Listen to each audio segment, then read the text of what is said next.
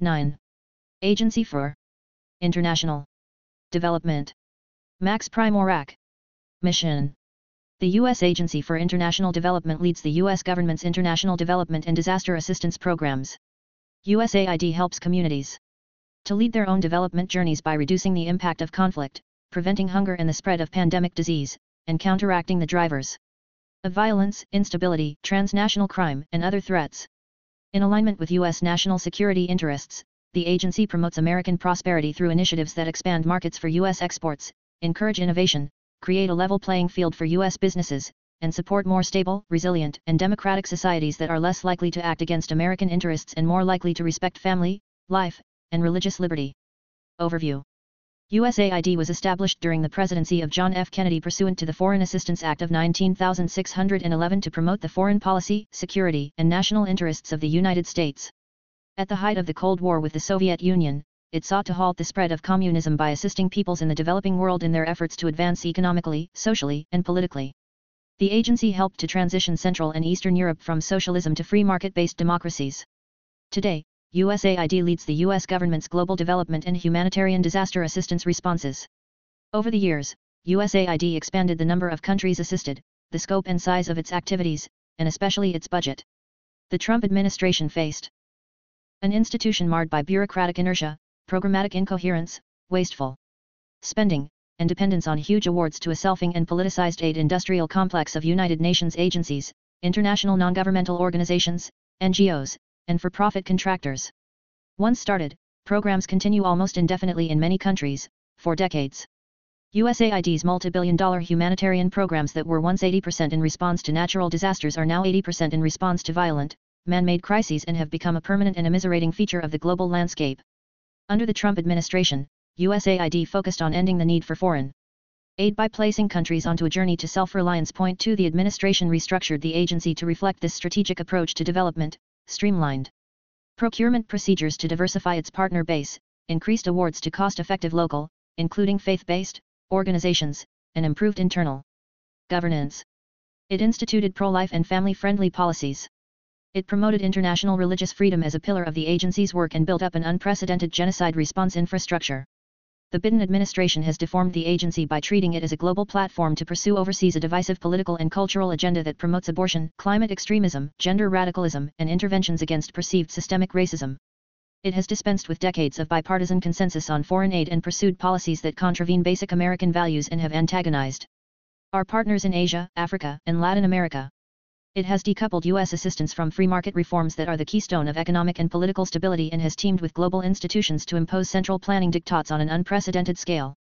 Wasteful budget increases requested by the administration and appropriated by Congress have outstripped USAID's capacity to spend funds responsibly, and U.S. foreign aid has been transformed into a massive and open-ended global entitlement program captured by and enriching the progressive left. The next conservative administration should scale back USAID's global footprint. By, at a minimum, returning to the agency's 2019 pre-COVID-19 pandemic budget level. It should de-radicalize USAID's programs and structures and build on the conservative reforms instituted by the Trump administration. This will require working closely with the U.S. Congress to make deep cuts in the international Affairs 150 account while granting USAID greater flexibility in spending its appropriated funds to achieve better developmental outcomes. Key issues Aligning U.S. foreign aid to U.S. foreign policy. U.S. foreign aid is too often disconnected from the strategy and practice of U.S. foreign policy. Its coordination is made difficult as the aid budget is divided among approximately 20 offices, agencies, and departments that provide some form of foreign assistance. The USAID administrator should be authorized to take on the additional role of Director of Foreign Assistance, DFA, with the rank of Deputy Secretary at the Department of State in charge of all U.S. foreign assistance. The DFA role would empower this person to align and coordinate the countless foreign assistance programs across the U.S. government and carry out the agenda of the next conservative president more effectively. A version of this role existed during the last two years of the George W. Bush administration, but the Obama administration eliminated it in 2009. Countering China's development challenge. Through its Trillion Dollar Belt and Road Initiative, BRI, the People's Republic of China, PRC, has directed billions of dollars in loans and investments to advance its geostrategic objective of displacing the United States as the premier global power. The PRC leverages its transactions termed debt traps by many critics to strengthen its global influence, extract natural resources, isolate Taiwan, win political support at international fora, and access ports and bases for its military. In Latin America, 25 of 29 countries participate in the BRI, and the PRC ranks as the region's largest trading partner. Since 2005, Chinese state-owned banks have issued $138 billion in loans to Latin American countries, and other Chinese entities have invested an additional $140 billion. In Africa, China has issued $160 billion in loans and dominates the continent's rare earth mining sector, which is critical to global energy development. The World Bank estimates that 60% of all BRI loans are in financial distress, leading many countries to seek emergency financial help from Western donors. Chinese-funded projects are known for employing substandard labor and environmental practices, fueling corruption, promoting wasteful financial decisions. By governments, advancing China's geostrategic interests, and creating an unequal trade relationship in which China secures raw materials from developing countries and sells those countries' manufacturing products. For example, Brazil, a world leader in shoe production, saw its industry collapse under a flood of cheap Chinese imports. China's mercantilist penetration of the developing world and the negative consequences for developing countries' healthy economic growth have undercut U.S. strategic relationships in those countries and wasted billions in U.S. foreign aid. During the Trump administration, USAID L inaugurated a robust counter-China response called Clear Choice 3 that contrasted America's development approach based on liberty, sovereignty, and free markets with China's mercantilist authoritarianism that pursued predatory financing schemes and economic and political subordination to Beijing. L launched its first digital strategy for to promote safe 5G access in emerging markets and combat Beijing's efforts to equip regimes with tools to stifle democracy. L struck bilateral development relationships with Japan, Israel, Kuwait, Qatar, the United Arab Emirates, and Taiwan to support projects in sub-Saharan Africa, Asia, Latin America, and the Middle East. L established an office in Greenland to help counter China's claims of being a near-Arctic state and reoriented its programming across Asia including establishing a USAID mission to Central Asia in line with America's Indo-Pacific Strategy. Point 5. L joined with the U.S. Department of Homeland Security and National Oceanic and Atmospheric Administration to help coastal countries detect and halt illegal, unreported, and unregulated fishing and confront criminal activities practiced by state-run Chinese fishing fleets that violate international norms, ravage fishing industries in developing countries, worsen food insecurity, rob vulnerable communities of their livelihoods, and deplete maritime resources. USAID built an organizational infrastructure to carry out its multiple lines of counter-China operations. An agency-wide Clear Choice Executive Council and USAID U.S. International Development Finance Corporation Working Group reviewed all proposed assistance programs and proposals through a counter-China lens. A senior executive-level Clear Choice coordinator, reporting to the administrator, advised the agency's leadership on initiatives to counter China, supported by a fully dedicated six-person secretariat the Biden administration discontinued these programs and allowed USAID's counter-China architecture to waste away, subordinating our national security interests to progressive climate politics in which communist China is viewed as a global partner. The next conservative administration should restore and build on the Trump administration's counter-China infrastructure at USAID, and the climate policy fanaticism that advantages Beijing, and assess bilateral aid through the lens of U.S. national security interests, rewarding those countries that resist China's debt diplomacy. It should finance programs designed to counter specific Chinese efforts in strategically important countries and eliminate funding to any partner that engages with Chinese entities directly or indirectly. USAID's Bangkok-based regional development mission for Asia should focus its strategic attention on supporting cross-border initiatives designed to counter Chinese influence. Climate change. Upon taking office, President Biden issued executive orders to put the climate crisis at the center of U.S. foreign policy and national security and mitigate the devastating inequalities that intersect with gender, race, ethnicity, and economic security. 6 USAID subsequently declared itself a climate agency and redirected its private sector engagement strategy teaming with America's corporate sector to wean countries off foreign aid through private investment and trade to support the administration's global policy to transition from fossil fuels to renewable energy. The administration has incorporated its radical climate policy into every USAID initiative. It has joined or funded international partnerships dedicated to advancing the aims of the Paris Climate Agreement and has supported the idea of giving trillions of dollars more in aid transfers for climate reparations. The Biden administration's extreme climate policies have worsened global food insecurity and hunger. Its anti-fossil fuel agenda has led to a sharp spike in global energy prices. Inflation has hit the poor the hardest as they expend a higher proportion of income on food purchases. Farmers in poor countries can no longer afford to buy expensive natural gas-based fertilizers that are key to achieving high yields of food production. Under advice from climate radicals, the government of Sri Lanka even banned chemical fertilizers entirely without having any replacements in place. The result has been hunger and violent political instability. The aid industry claims that climate change causes poverty, which is false. Enduring conflict, government corruption, and bad economic policies are the main drivers of global poverty. USAID's response to man-made food insecurity is to provide more billions of dollars in aid a recipe that will keep scores of poor countries underdeveloped and dependent on foreign aid for years to come. The impact on Africa is especially acute. South Africa, for example, relies on coal-powered plants to generate 80% of its power needs.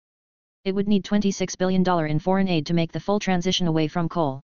Multiplying this amount by dozens of other countries on the continent, the financial resources needed to transition away from fossil fuels are unachievable. In Latin America, countries that are global leaders in oil and gas production have sharply curtailed their energy production in line with climate activists, upending the hemisphere's major source of export revenues and condemning it to years of economic and political instability. USAID should cease its war on fossil fuels in the developing world and support the responsible management of oil and gas reserves as the quickest way to end wrenching poverty and the need for open-ended foreign aid.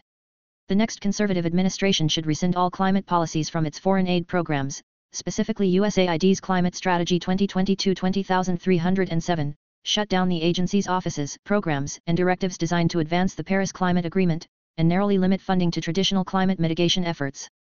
USAID resources are best deployed to strengthen the resilience of countries that are most vulnerable to climatic shifts. The agency should cease collaborating with and funding progressive foundations, corporations, international institutions, and NGOs that advocate on behalf of climate fanaticism. Diversity, Equity, and Inclusion Agenda. USAID installed advisors on diversity, equity, and inclusion, DEI, committees in all its bureaus, offices, and overseas missions and created an agency-wide dashboard and DEI scorecard for all bureaus, offices, and missions to track staff compliance with the administration's DEI directives. A chief DEI officer oversees this DEI infrastructure and sits in the administrator's office. DEI directives are now part of all agency policies and are incorporated as standard clauses in all contract and grant awards.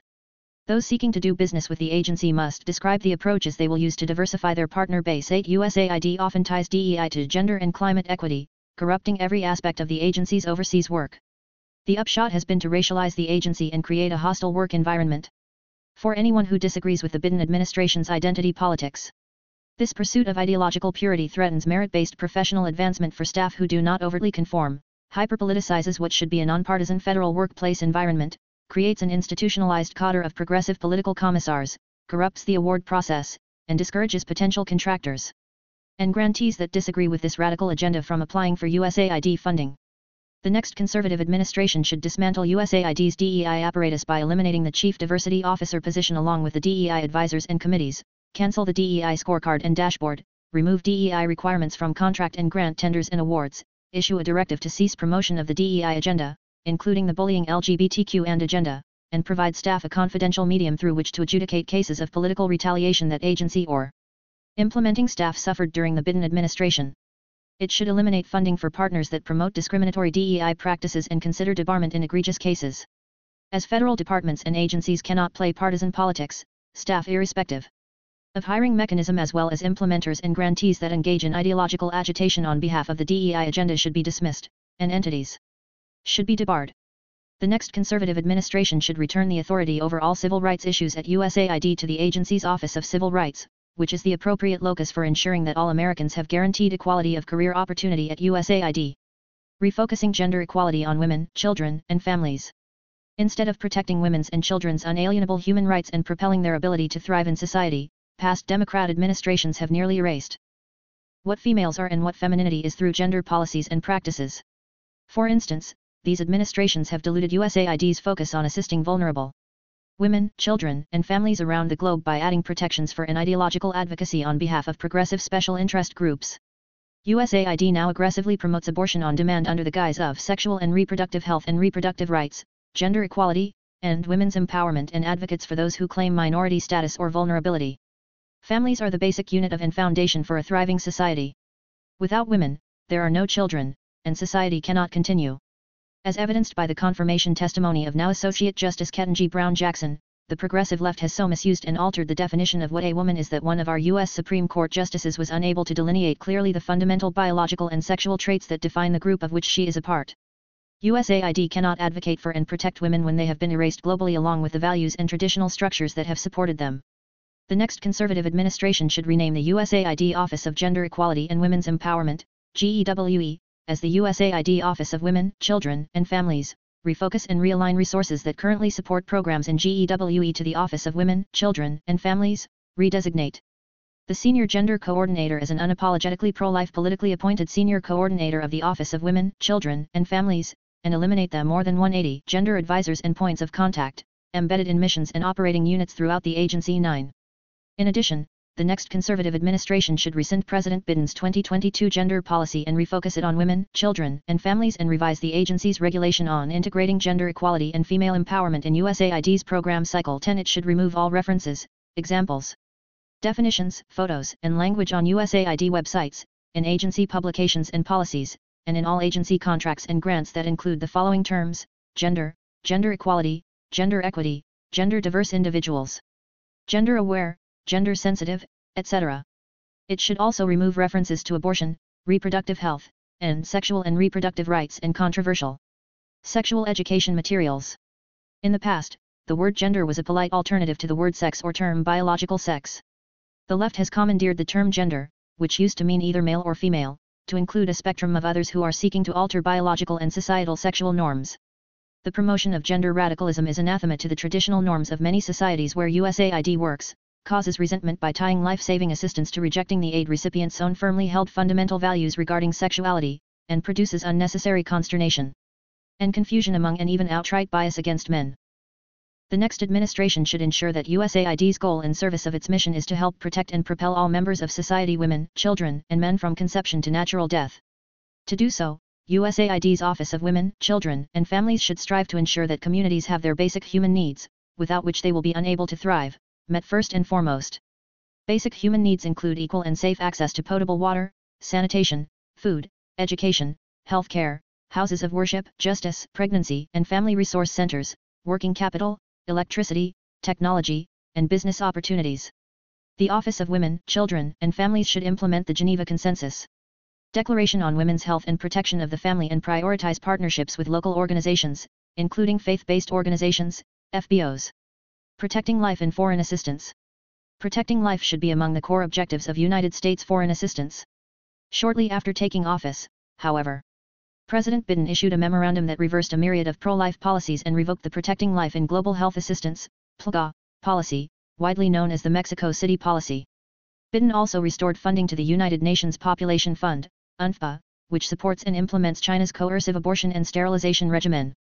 PLGA requires foreign NGOs, as a condition of receiving assistance, to agree not to perform or actively promote abortions as a method of family planning in foreign countries. Previous pro-life presidents beginning with Ronald Reagan applied these conditions to family planning assistance, but President Trump for the first time expanded the Mexico City policy to protect global health assistance furnished by all departments or agencies, estimated to be $8.8 billion annually. The Biden administration restored abortion subsidies to pro-abortion NGOs including Planned Parenthood International and MSI Reproductive Choices. In reversing PLGA, Biden declared a radical assault on the policy of protecting life, choosing instead to promote abortion on demand around the world under the guise of sexual and reproductive health and rights. USAID's priority of funding the global abortion industry negates programs that promote life, women's health, and the family. Even under PLGA, several loopholes allowed support for the global abortion industry to continue. International NGOs that perform and promote abortions overseas like Population Services International, Pathfinder, PATH, the Population Council EngenderHealth and Woman Care Global International continued to receive funding from USAID under PLGA and now, under Biden, receive tens of millions more in U.S. taxpayer dollars in foreign assistance annually without any oversight.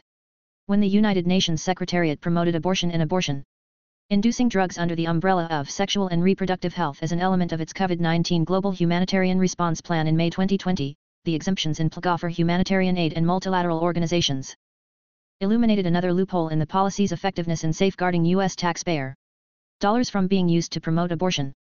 Pro-abortion groups also have received funds under other categories of foreign aid that fall outside the scope of global health assistance, including women-related and economic assistance programs.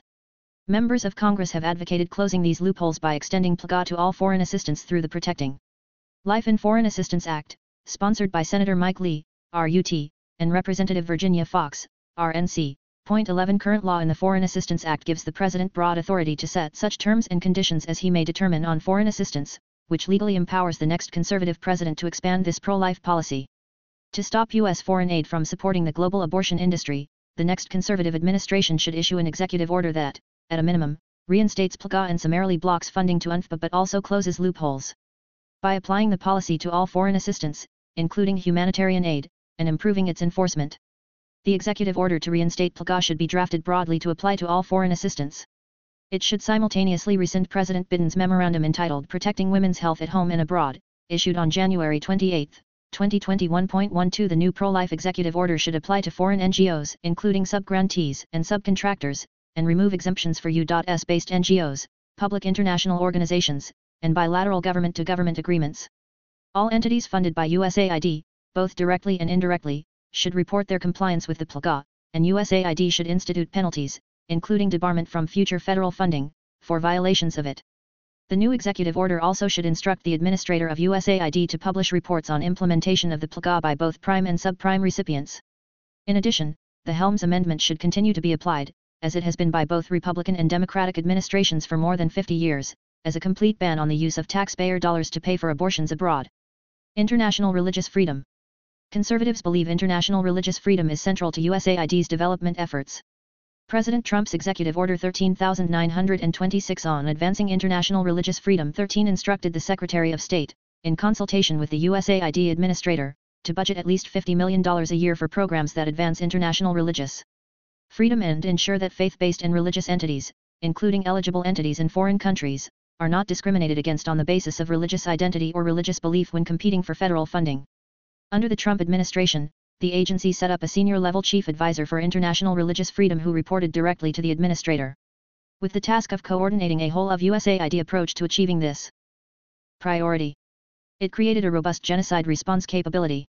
USAID affirmed the agency's partnerships with faith-based organizations through its rule on participation by religious organizations in USAID programs, 14 partnership guidance and answers to frequently asked questions, FAQs, for faith-based organizations, and legal guidance and answers to FAQs for USAID staff.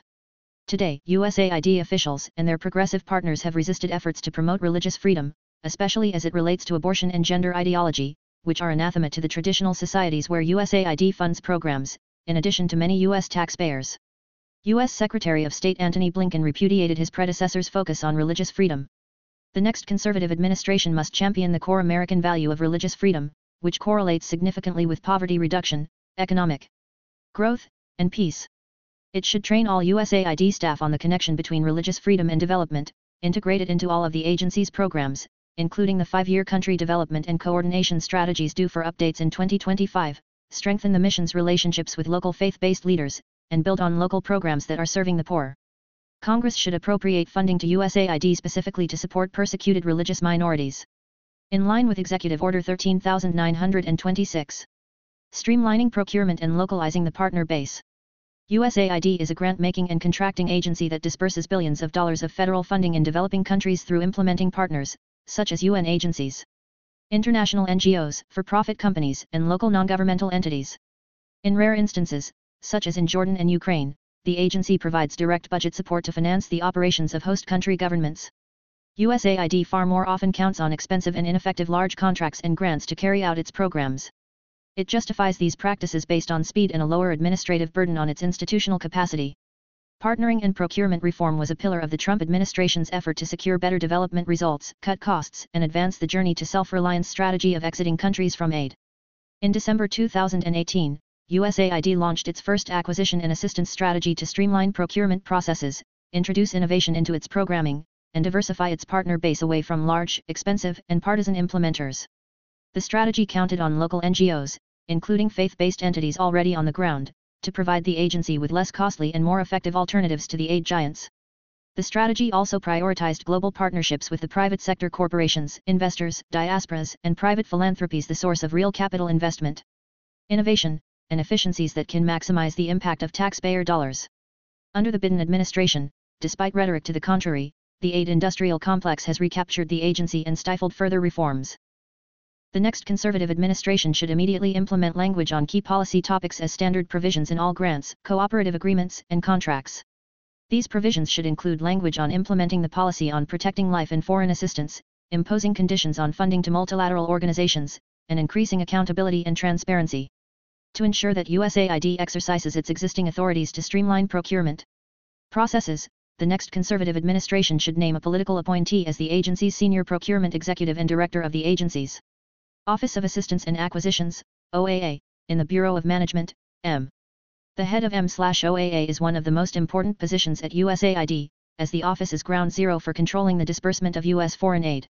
The White House should empower the administrator and his or her designees to make determinations concerning the scale and scope of awards and increase the transparency and accountability of subawards, which can escape public scrutiny and promote progressive policies during conservative administrations.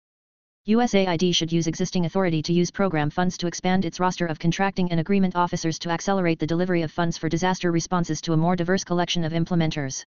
Accomplishing the next conservative administration's policy goals at USAID will require that political appointees have knowledge of, responsibility for, and visibility into the design and awarding of grants, contracts, and cooperative agreements. The administration should restore the senior official accountability. Review, SOAR, or create a similar process to ensure that proposed programs above a certain dollar threshold in total estimated cost slash total estimated amount receive a close review by policymakers in each bureau and office and, for large awards, in the agency's front office. Localization is a buzzword within the aid community but correctly assumes that more funding through local organizations produces better aid outcomes. Shifting from giant U.S. based implementers has proved difficult to achieve, however, given intense internal bureaucratic resistance, opposition from the aid industrial complex, and foot dragging from progressives, who view local NGOs especially faith-based NGOs prominent in Africa and Latin America as obstacles to promoting abortion, gender radicalism, climate extremism, and other woke ideas. The President's Emergency Plan for AIDS Relief, PEPFAR, has shown that localization at scale is possible within a short time span. Over the four years of the Trump administration, the multi-billion dollar program increased the amount of funding disbursed to local entities from about 25% to nearly 70% with positive overall results.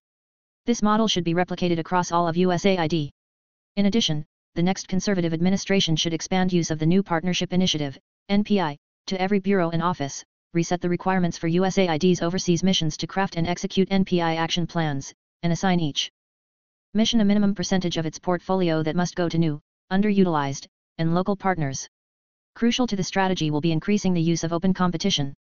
That lowers barriers to entry and fixed amount awards that carry less of a compliance burden along with eliminating cost plus reimbursement contracts that favor large companies. Before advancing a new program, the agency should be required to assess existing local activities to avoid undercutting or duplicating them. At every opportunity, USAID should build on existing local initiatives. Global Health The United States is the world's largest funder of global health initiatives. For more than 60 years, the American people have offered health assistance to the world and saved millions of lives. The USAID Bureau for Global Health, GH, the second largest within USAID, oversees a multi-billion dollar operation to support maternal and child health, voluntary family planning, PEPFAR and the President's Malaria Initiative, PMI, both started under President George W. Bush, and other initiatives against other infectious and neglected tropical diseases. Effective use of funds is essential to maximize care for the world's neediest people.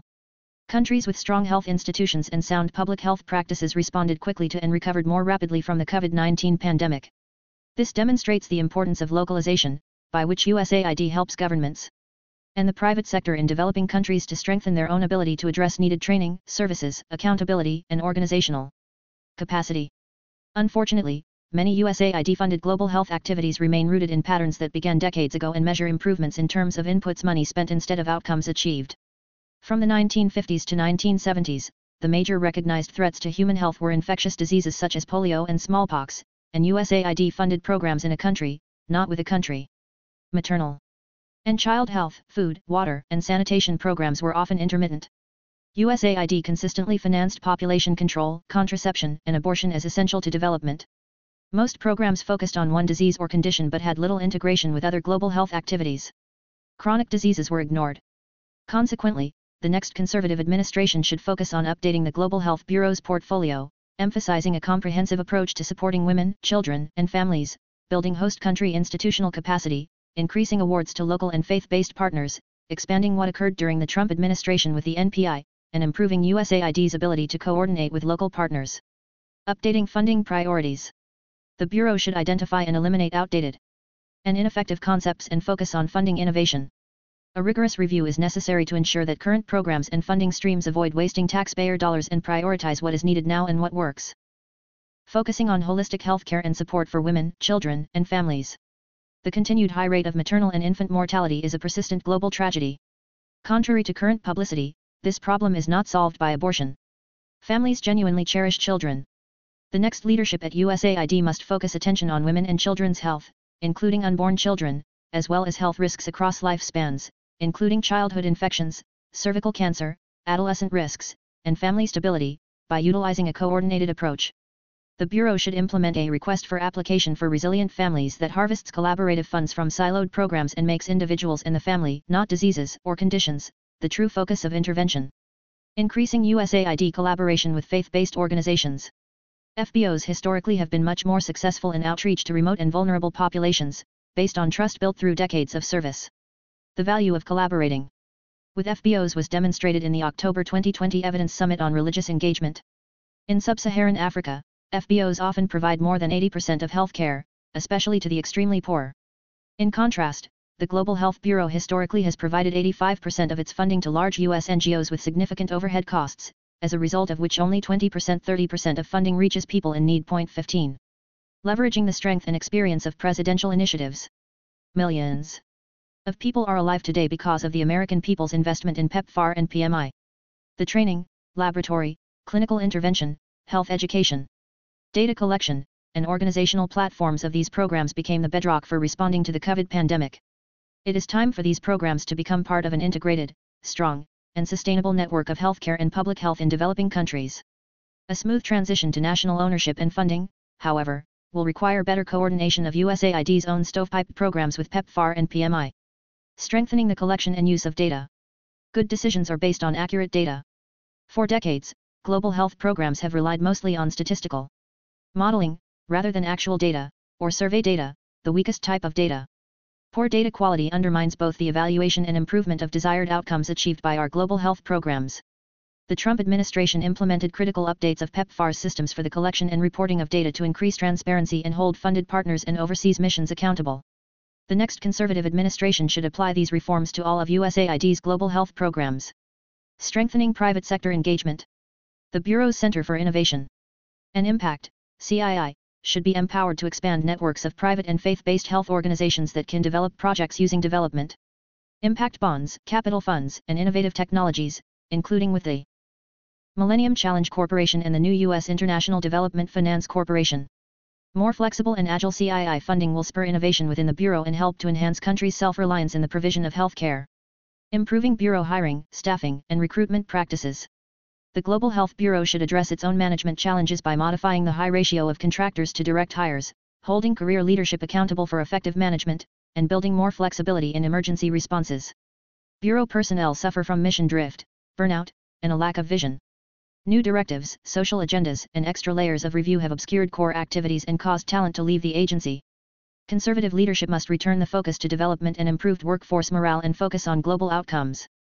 And the efficient use of taxpayer dollars holding the UN, the World Health Organization, WHO, and other multilateral organizations accountable.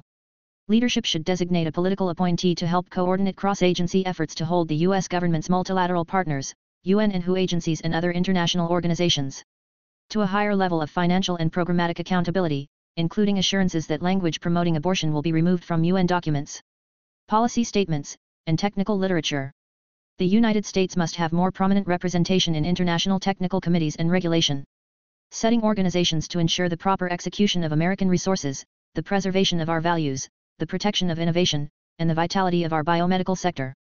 Global Humanitarian Assistance The U.S. government is the world's largest humanitarian actor, annually dispersing billions of dollars in life-saving assistance food, water, shelter, emergency health care, and related protection support to tens of millions of vulnerable people. Funded by the U.S. Congress through the International Disaster Assistance, IDA, account, USAID pays for nearly half of the budget of the Nobel Prize-winning UN World Food Programme, WFP, as well as dozens of simultaneous operations that range from responses to hurricanes in Central America to tackling outbreaks of Ebola in Central Africa and caring for millions of people displaced by ongoing conflicts. USAID's emergency responses once were focused primarily on natural cataclysms, such as hurricanes, floods, and earthquakes. Today, the agency spends more than 80% of its humanitarian budget on chronic man-made crises. Most of these emergency responses began years ago and absorb billions of dollars annually. With no end in sight. Every year sees financial demands grow in response to new conflicts, most recently Ukraine. The budget of the Bureau for Humanitarian Assistance, BHA, has doubled compared to just a few years ago, and BHA can no longer manage its funds responsibly. A politically powerful foreign aid industry that benefits financially from extending and expanding these large-scale programs for years, even decades, ensures little scrutiny of these ever-increasing appropriations. The massive growth in emergency aid distorts humanitarian responses, worsens corruption in the countries we support, and exacerbates the misery of those we intend to help. The permanence of this assistance, particularly in countries where we have little to no in-country presence and must rely on UN agencies to self-monitor, has morphed into a CO governance scheme in which the US government effectively finances the social services obligations of corrupt regimes that threaten the United States. These governments can then redirect scarce budget resources away from costly health and education toward financing their wars, supporting terrorism, repressing their citizens, and enriching themselves. Examples of this abuse are spread throughout the world. L. Over the past decade, the U.S. government has expended $14 billion in aid to Syria where the bloody regime of Bashar al-Assad a close ally of Iran and Russia schemes nearly half of foreign aid through inflated official exchange rates, the diversion of food baskets to its military units, and procurement arrangements with compromised local contractors. El Yemen, once the breadbasket of the Arabian Peninsula, is now dependent on billions of dollars of aid as formerly productive Yemeni farmers cannot compete against free food while irrigation systems remain in disrepair, leaving the country to suffer from water shortages during long summer droughts and flooding during its rainy season. Iran-backed Houthi rebels divert substantial amounts of aid to support their war efforts. L. In Afghanistan, the aid infrastructure built over 20 years of American military presence that three presidents wanted to end collapsed with the failure of U.S. trained Afghan forces to repel the Taliban's 2021 advances. Yet the country has received nearly $1 billion more in U.S. humanitarian aid since the Taliban's takeover and absent a U.S. embassy to ensure that it is not diverted to the Taliban and other terrorist groups. L. In Burma, U.S. aid finances all of the food and medical care for hundreds of thousands of persecuted Rohingya that the military regime forces to live in open-air concentration camps. L. In northern Iraq, hundreds of thousands of Yazidis targeted for genocidal extermination by ISIS remain in miserable camps unable to return home because of the Iraqi government's refusal to clear out Iran-backed militias occupying their homeland. In effect, humanitarian aid is sustaining war economies, creating financial incentives for warring parties to continue fighting, discouraging governments from reforming, and propping up malign regimes. Nefarious actors reap billions of dollars in profits from diversions of our humanitarian assistance, but so do international organizations. The WFP charges 36% in overhead while Oxfam International's overhead has reached 70% in Yemen, reflecting the high costs of foreign staff, security, and logistics. With powerful lobbies in Washington, D.C., and in leadership positions throughout USAID and the Department of State, the aid industry adroitly exploits Congress's disposition to increase funding year on year to assist those in dire need but provides no evidence to justify the mounting budget requests. In 2020, USAID's leadership fused formerly bifurcated food and non-food emergency relief operations into a single bureau for humanitarian assistance to improve the management of the agency's largest portfolio, but this reform was not sufficient to address the problem. The next administration should resize and repurpose USAID's humanitarian aid portfolio to restore its original purpose of providing emergency short-term relief, prepare vulnerable communities for transition, and do no harm in the following ways. L. Work with Congress to make deep cuts in the IDA budget by ending programs that do more harm than good in places controlled by malign actors, such as in Yemen, Syria, and Afghanistan, where our aid is consumed by fraud, diversion, and partner overhead costs. L. Require USAID and the State Department to devise country-based exit strategies that term limit the duration of humanitarian responses and transition funding from emergency to development projects. This will require robust diplomacy to press host governments to integrate displaced persons in lieu of keeping them in expensive and dehumanizing camps financed by the international community. L. Transition from large awards to expensive, inefficient, and corrupt UN agencies, global NGOs, and contractors to local, especially faith-based, entities that are already operating on the ground. This approach provides a far less expensive and more effective alternative for aid delivery. Local partners more ably navigate corrupt environments and are more likely to steer vulnerable populations away from dependence on aid toward self-sufficiency. L. Require that BHA avail itself of existing IDA authorities that it fails to use, including to dispense with the cost reimbursement model that disqualifies undercapitalized local NGOs, accept other donor vetting of local partners, streamline the award approval process, and expand the use of fixed amount awards to rein in cost overruns. L. Direct USAID's Bureau for Management to hire more procurement officers for BHA to strengthen the Bureau's award management capacity and reduce the incentives to issue large awards to aid industry giants. L. Allow BHA to manage the process of hiring personal services contractors. L. Require BHA's partners to adopt stricter vetting procedures to prevent aid from being diverted to terrorists. L. Increase efforts to obtain greater contributions, not just pledges, for humanitarian operations from other donors and make this a condition for receiving additional U.S. aid leveraging foreign aid to unleash the power of America's private sector. During the 1960s, when USAID was launched, 80% of financial flows from the United States to the developing world was in the form of U.S. government assistance. Today, that figure is under 10%, overtaken by private investment, remittances, and private charities, all demonstrating the power of America's private sector to promote wealth-generating economic development in poor countries. Leaders in the developing world routinely press U.S. officials about their preference for trade and investment, not aid. Instead, the Biden administration is leveraging private sector financing to promote its climate and other progressive agendas worldwide. The next conservative administration must return USAID to a foreign aid model that leverages its resources to promote private sector solutions to the world's true development problems and end the need for future foreign aid. Private capital investment in these markets is the greatest enabler of job creation and sustainable economic growth throughout the developing world. A key tool of American soft power leadership is the U.S. Development Finance Corporation, DFC. Launched in December 2019, DFC sought to unleash the power of America's private sector to advance our interests by providing emerging markets with blended financing opportunities to help end wretched poverty, create new markets for U.S. made products, strengthen bilateral partnerships in strategic parts of the world, and offset China's predatory loans and investments the Trump administration launched a USAID DFC working group to maximize development outcomes and review individual investment projects through a counter-China lens and ensure a cohesive interagency development response. As development agencies, USAID and DFC must do a better job of aligning their respective activities and closely integrate both structurally and operationally. The easiest way to foster this alignment is to dual hat the role of DFC's Chief Development Officer so that he or she serves simultaneously in both institutions. Like all U.S. federal bodies, DFC should be restored to its original intent of deploying its commercial risk-reducing financial services instead of its current misuse as another global vehicle to promote economy-killing climate programs, meet irrelevant diversity objectives, and overfocus on low-impact or misguided gender-based activities. Branding A deeply embedded culture within the foreign aid bureaucracy views public recognition of U.S. assistance as secondary to a larger philanthropic mission and is embarrassed by the American flag. Citing vaguely defined security concerns, USAID's implementers UN agencies, international NGOs, and contractors often fail to credit the American people for the billions of dollars in assistance they provide the rest of the world even as they engage in self-promoting public relations to raise other donor funds. This approach has negative foreign policy implications as China relentlessly promotes its own selfing efforts to gain influence and resources. Worst of all, malign actors sometimes appropriate credit for unbranded U.S. assistance, Houthi terrorists, for example, claim to provide for the people under their occupation with anonymous U.S. humanitarian aid. The United States is in a struggle for influence with China, Russia, and other competitors, and American generosity must not go unacknowledged. The next conservative administration should build on the Trump administration's branding policy, which revamped ADS Chapter 320, to force the aid bureaucracy to fully credit the American people for the aid they are providing. The senior advisor for brand management in the Bureau for Legislative and Public Affairs, LPA, discussed. Infra, should be a political appointee who is responsible for maximizing the visibility of U.S. assistance by enforcing branding policy on every grant, cooperative agreement, and contract. The LPA should liaise with counterparts at the U.S. Agency for Global Media, USAM, to ensure local media pickup of these activities.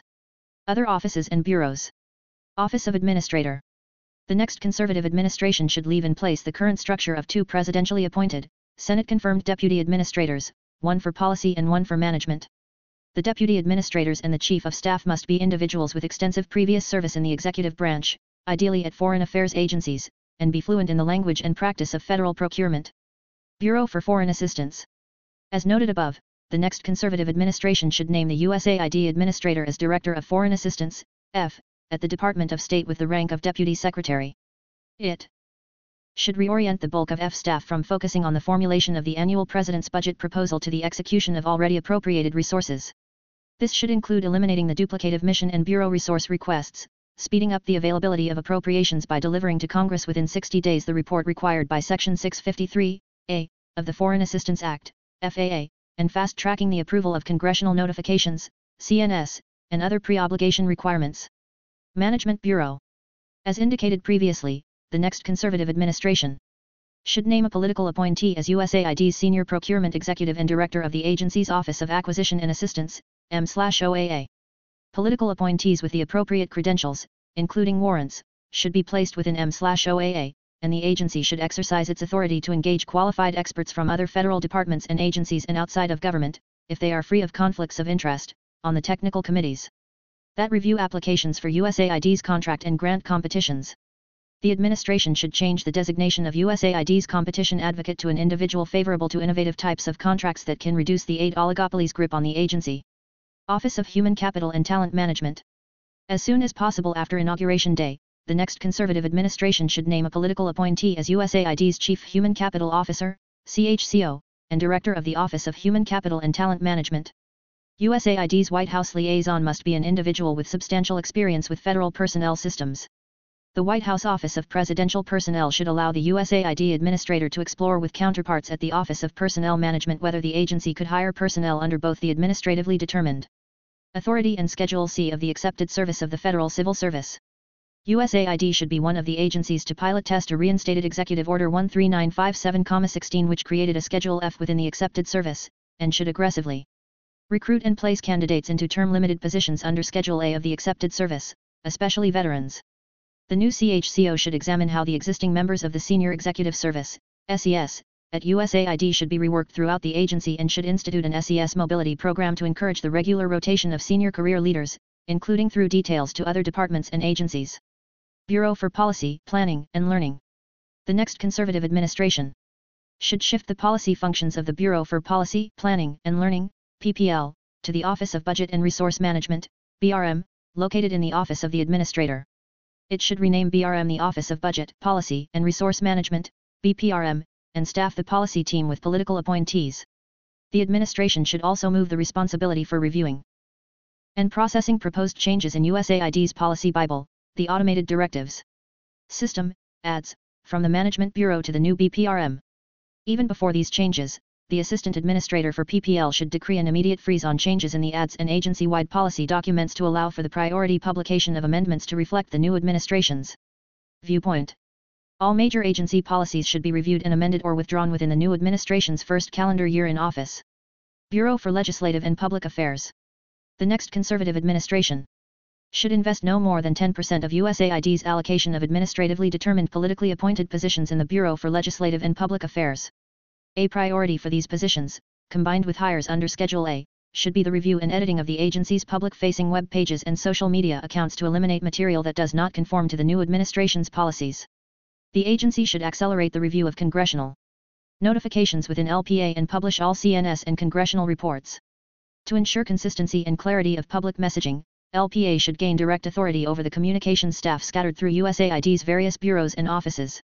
LPA should expand its public-facing efforts to include conservative allies that are active in global development and humanitarian aid work, including industry groups, nonprofits, trade associations, foundations, and advocacy organizations, and correspondingly reduce the aid industrial complex's grip on USAID's corporate relationships. Office of General Counsel Along with the Director of M/OAA, the General Counsel is one of the two or three most important positions at USAID and should be a priority for immediate appointments. Because proper legal interpretation of executive orders and internal USAID policy is crucial, the next conservative administration should recruit and appoint a commanding team of Schedule C attorneys in the Office of the General Counsel, OGC.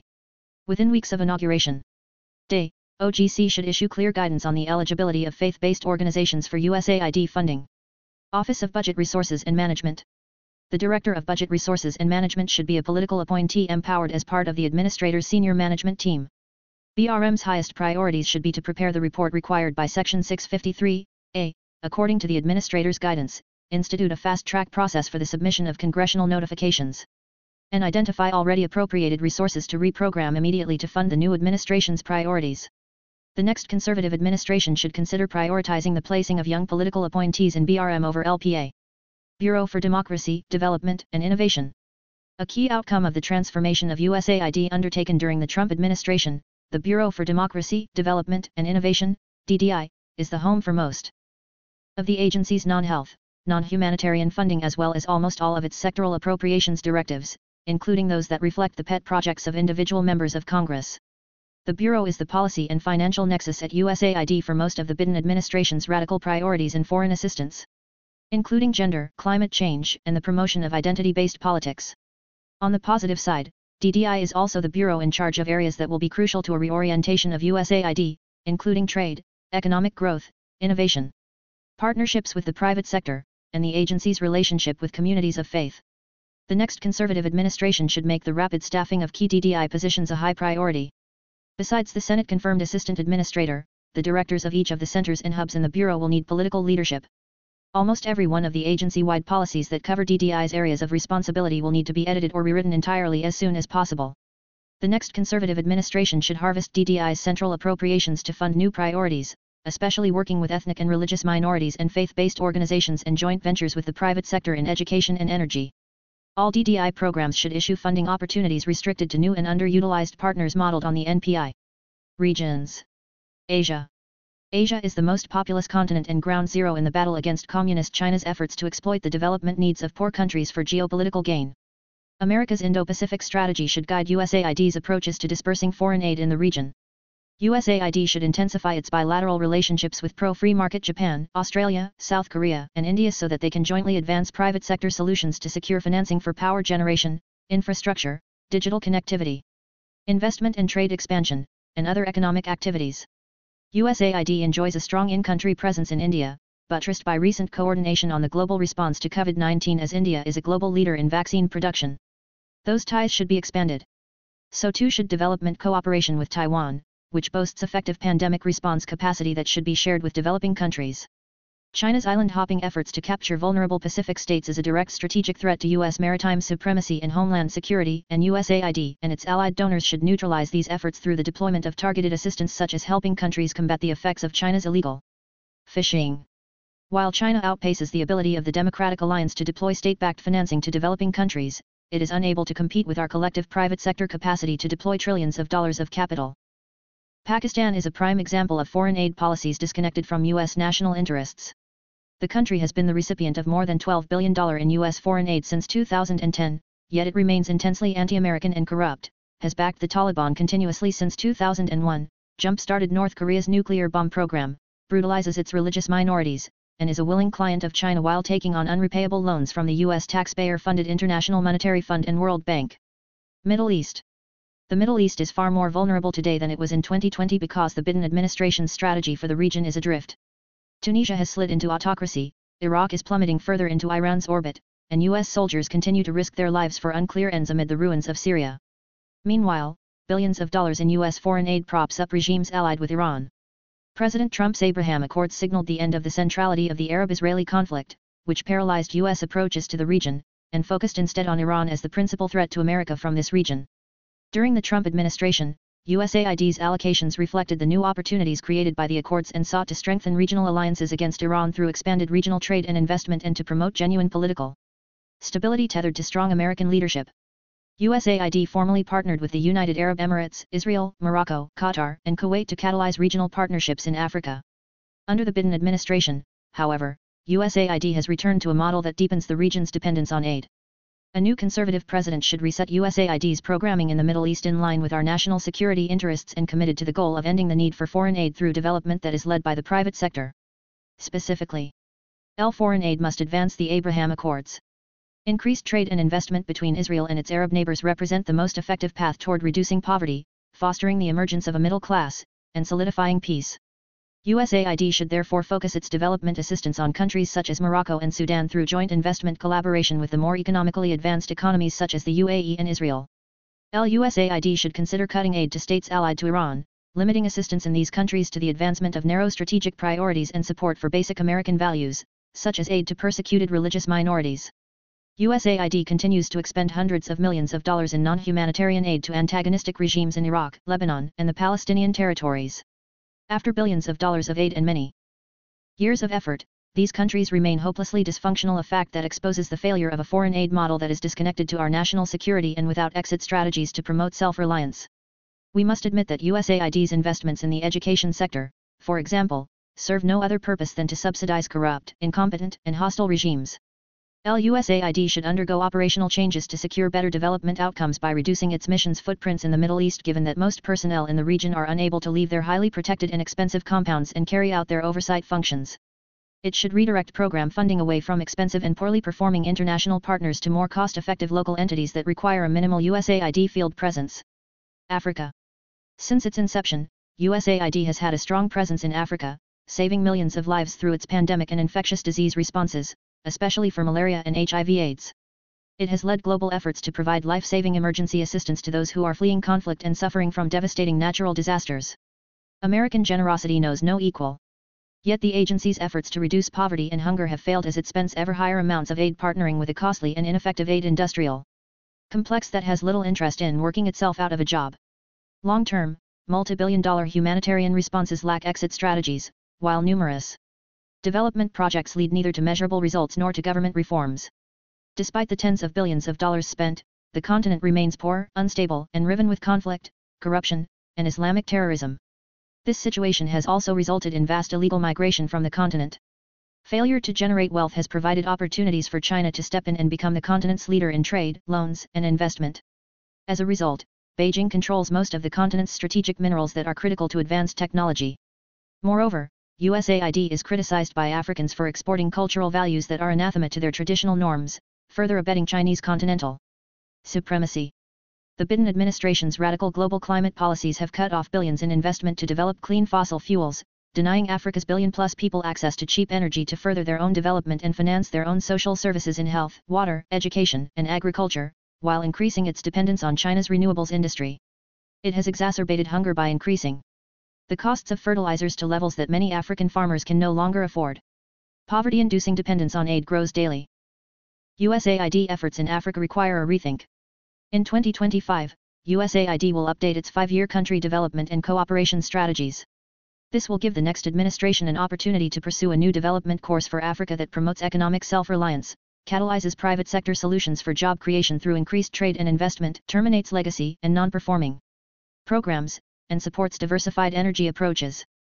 Critically, it must hold China accountable for its extractive investments that violate international labor, environmental, and anti-corruption norms and practices, undercut business opportunities for U.S. companies, and sabotage Africa's development.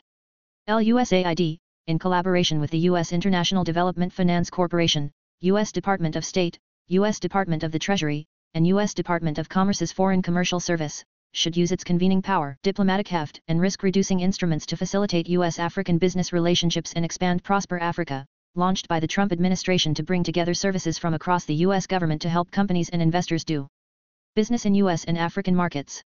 17. L. The Africa Growth and Opportunity Act, AGOA, 18 provides Africa duty-free access to U.S. markets. The next administration should extend AGOA beyond its 2025 term but within a strategic framework that rewards good governance and pro-free market economic policies. There is no point in wasting massive sums of aid to countries whose governments fail to keep their promises to reform.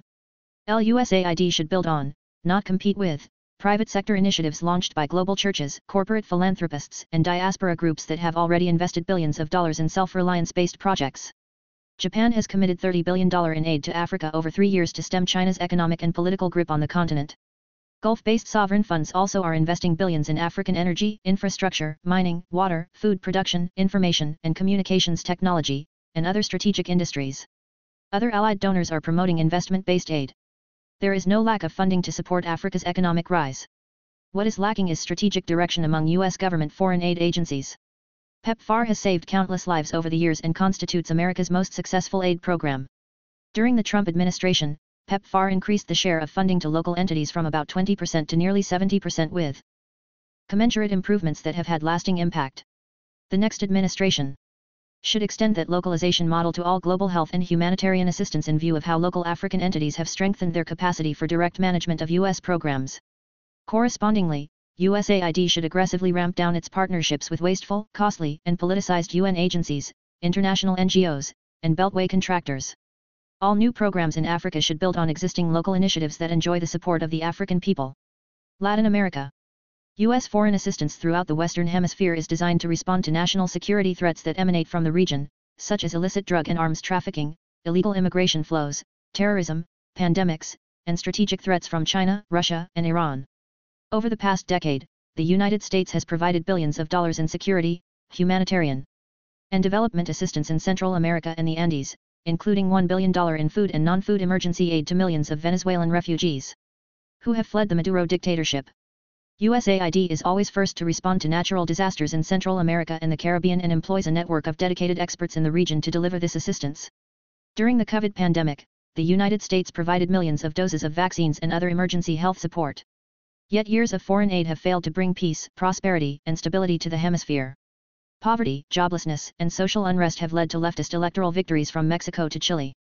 These regimes are hostile to American interests and private enterprise, breed corruption, implement radical policies that will further impoverish their people and threaten their democracies, and are more open to striking partnerships with Communist China. Left-wing authoritarian kleptocracies. In Cuba, Nicaragua, and Venezuela deny their people basic freedoms, violently and ruthlessly suppress any dissent, repress communities of faith, and generate such misery that hundreds of thousands of their citizens have attempted to cross our southern border over the past two years. No recent administration has made any progress in reducing the chaos and desperation in Haiti. Conversely, Latin America is a major global source of energy and food, which generates substantial income that can finance internal social and economic development. The nations of the hemisphere share a natural and massive geographic trade and investment advantage through their proximity to the United States, supplemented by free trade agreements the United States remains the favored destination for higher education and business opportunities for Latin Americans. Successful diasporas in the United States serve as powerful economic, cultural, and political bridges to every country in the region. The Trump administration focused on promoting trade and investment, especially in infrastructure, through an interagency effort called America America Grows, by which USAID played a key role in providing technical assistance to create a more enabling environment to attract private investment. The Biden administration cancelled the program the next conservative administration should reassess all programs of U.S. foreign aid to Latin America and terminate those that have failed to achieve results after years of effort. Instead, USAID should L focus its resources on strengthening the fundamentals of free markets, such as clear property rights and a functioning judiciary, and on promoting labor and pension reforms, lower taxes, and deregulation in order to increase trade and investment within the region and with the United States as the genuine path to economic and political stability. L challenge the socialist ideas that have captured too many of the region's governments and their nation's youth. L fund partnerships with the private sector and support civil society groups, including university centers and think tanks that advocate for pro-free market and democratic ideas. Finally, Latin America is the perfect proving ground for reducing USAID's reliance on large U.S-based implementers, and the agency should commit to shifting all of its portfolio in the region to local organizations by 2030. Personnel the Trump administration agenda for USAID was undercut from the outset both by recalcitrant career personnel and by inexperienced political personnel. The next conservative administration should implement personnel policies from the beginning so that the agency can be effectively managed according to high standards. The rapid deployment of reforms will require key experienced personnel installed quickly at USAID's headquarters and missions. Delay will only impede progress. In general, areas of focus should be appointing effective lawyers in key positions, reforming career hiring slash firing mechanisms, and getting a grip on the grant-making process. The administration should staff the Office of the General Counsel with at least four politically appointed attorneys, besides the General Counsel. The General Counsel should have two political deputies, one of whom should cover Human Capital and Talent Management, HCTM, and the other the Office of Acquisition and Assistance, OAA. The administration should name a political appointee with long experience in federal personnel systems as USAID's Chief Human Capital Officer and Director of HCTM. This appointee would help to scope and shepherd position descriptions clearances, and other components of the hiring process that are necessary for immediate onboarding while coordinating with the White House to bring in new appointees and make internal career employee changes. On day 1, USAID should halt all agency-wide training and replace it with training modules to advance the President's agenda. The administration should appoint a senior accountable official, SAO, to report on the agency's adherence to administration policy priorities, including on protecting life and foreign assistance, critical race theory, climate change, gender and diversity and inclusion. It should also create a program to staff hard-to-fill positions overseas. Finally, the administration should create a recruiting program for veterans and other groups to participate in career job opportunities at USAID. Former missionaries, veterans, members of diasporas, and faith community stakeholders with overseas experience should be recruited to work at USAID on Schedule A appointments. As institutional services contractors, as personal services contractors, and as foreign service officers.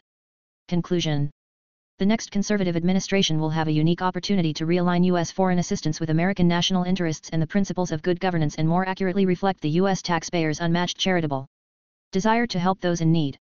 It can build on a strong baseline of conservative reforms undertaken by the Trump administration to counter Communist China's strategy of world domination. However, this will require that bold steps are taken on day one to undo the gross misuse of foreign aid by the current administration to promote a radical ideology that is politically divisive at home and harms our global standing. Authors note, the preparation of this chapter was a collective enterprise of individuals involved in the 2025 Presidential Transition Project. All contributors to this chapter are listed at the front of this volume, but Dr. William Steiger, Bethany Kozma, and Dr. Alma Golden deserve special mention. The author assumes full responsibility for the content of this chapter, and no views expressed therein should be attributed to any other individual. End notes. 1S 1983, Foreign Assistance Act of 1961, Public Law No. 87 to 195, 87th Congress, September 4, 1961, https slash slash www.govinfo.gov slash content slash package slash statute 75 slash pdf slash statute 75 pg 424-2.pdf, accessed January 19, 2023.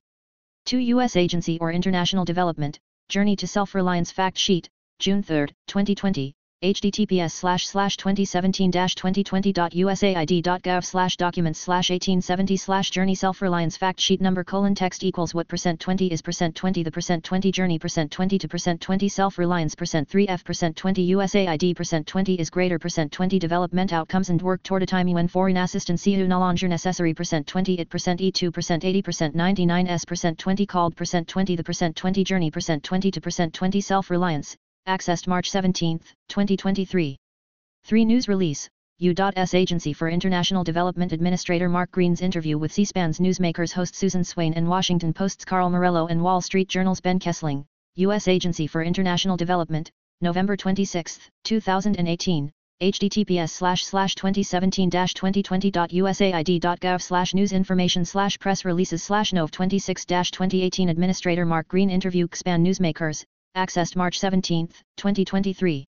4 U.S. Agency for International Development, Digital Strategy 2020-2024, https slash slash www.usaid.gov slash sites slash default slash files slash 2022-05 slash usaid underscore digital underscore strategy.pdf.pdf slash slash www.usaid.gov slash digital development slash usaid digital strategy, accessed March 17, 2023.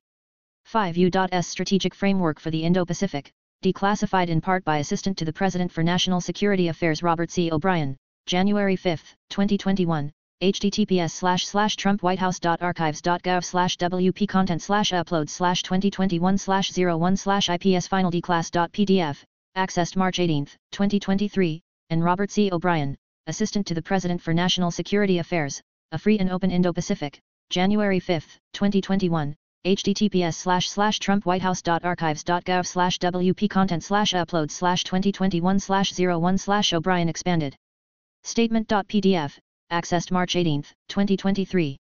6 News Release, Fact Sheet, Prioritizing Climate in Foreign Policy and National Security, The White House, October 21, 2021, https slash slash www.whitehouse.gov slash briefing room slash statements releases slash 2021 slash 10 slash 21 slash fact sheet prioritizing climate in foreign policy and national security slash accessed January 28, 2023.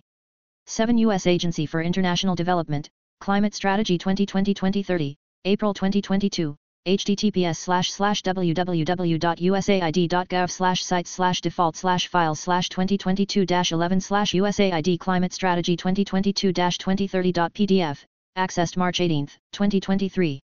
8 Adva Saldinger, USAID Steps Up Languishing Diversity, Equity and Inclusion Effort, devex.com, December 15, 2021, http colon slash slash www.devex.com slash news slash usaid hyphen steps hyphen up hyphen languishing hyphen diversity hyphen equity hyphen and hyphen inclusion hyphen effort hyphen 102316, accessed January 28, 2021. 9 U.S. Agency for International Development, Gender Equity and Women Empowerment, https slash slash www.usaid.gov slash gender equality and women's empowerment, accessed January 30, 2023. 10 U.S. Agency for International Development, Integrating Gender Equality and Female Empowerment in USAID's Program Cycle, adds Chapter 25, partial revision date January 22, 2021, https slash slash www.usaid.gov slash sites slash default slash files slash 2022-12 slash 205.pdf, accessed March 18, 2023. 11S 137, Protecting Life in Foreign Assistance Act, 117th Congress, introduced January 28, 2021, https slash slash www.congress.gov slash bill slash 117th congress slash senate bill slash 137 number colon text equals protecting percent 20 life percent 20 in percent 24 in percent 20 assistance percent 20 act percent 20 this percent 20 bill support percent 24 percent 20 and percent 20 entity percent 20 that percent 20 conducts percent 20 such percent 20 activities accessed January 20, 2023 and HR 534 Protecting Life and Foreign Assistance Act 117th Congress, introduced January 28, 2021, https slash slash www.congress.gov slash bill slash 117th Congress slash House Bill slash 534, S equals 1 and R equals 450, accessed January 20, 2023. 12 President Joseph R. Biden Jr., Memorandum on Protecting Women's Health at Home and Abroad, Memorandum for the Secretary of State, the Secretary of Defense, the Secretary of Health and Human Services, and the Administrator of the United States Agency for International Development, the White House, January 28, 2021, https slash slash www.whitehouse.gov slash briefing room slash presidential action slash 2021 slash 01 slash 28 slash memorandum on protecting women's health at home and abroad slash accessed March 18, 2023. 13 President Donald J. Trump, Executive Order 13926, Advancing International Religious Freedom, June 2, 2020, in Federal Register, Volume 85, Number 109, June 5, 2020, pages 34951 34953, https slash slash www.govinfo.gov slash content slash package slash fr 2020-06-05 slash pdf slash 2020-12430.pdf, accessed January 20, 2023. 1422 Code of Federal Regulations 205.1, https slash slash www.ecfr.gov slash current slash title 22 slash chapter 2 slash part 205, accessed March 18, 2023. 15 Contributors Notes from Internal USAID Meetings 16 President Donald J. Trump, Executive Order 13957, Creating Schedule F in the Excepted Service, October 21, 2020, in Federal Register, Volume 85, Number 207, October 26, 2020, pages 67600 and 31 67635, https slash slash www.govinfo.gov slash content slash package slash fr 2020-10-26 slash pdf slash 2020-23780.pdf, accessed March 18, 2023. 17 Prosper Africa, Increasing Trade and Investment between the U.S. and African Countries, https slash slash www.prosperafrica.gov slash, accessed March 18, 2023. 18 HR 434, Trade and Development Act of 2000, Public Law 106 to 200, 100, and 6th Congress, May 18, 2000, Title I, Subtitle A, https slash slash agoa.info slash images slash documents slash 2385 slash agoa underscore legal underscore text.pdf, accessed March 18, 2023. Warning, empty page.